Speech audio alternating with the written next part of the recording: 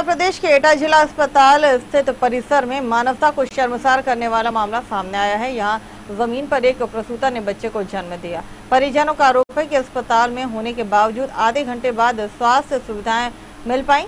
वहीं जिला अस्पताल के सीएमएस डॉक्टर राजेश अग्रवाल के मुताबिक जैसे ही जानकारी हुई, तत्काल स्वास्थ्य सुविधाएँ प्रसूता को उपलब्ध कराई गई।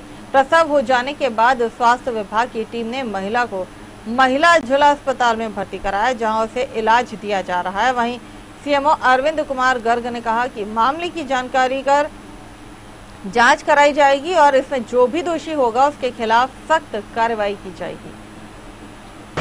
आपने बताया है कि संज्ञान मुझे अभी आया है और इसका मैं संज्ञान लेकर इसके जाँच कराऊँगा और अगर इसमें कोई, जो भी आदमी दोषी होगा, उसके खिलाफ कार्रवाई करेंगे।